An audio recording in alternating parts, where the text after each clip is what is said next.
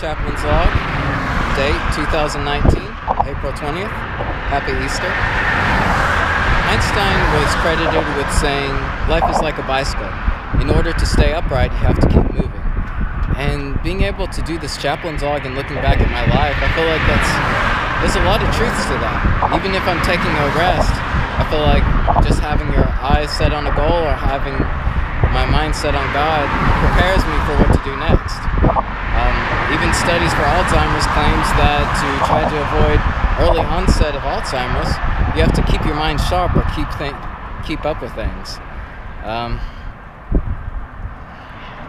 and I feel like God just gives you so many blessings in different parts of your life, whether you're resting, whether you're moving, as long as you're moving. Uh, he just gives blessings when you are meek, blessings when you're mourning, blessings when you're just trying to figure out things.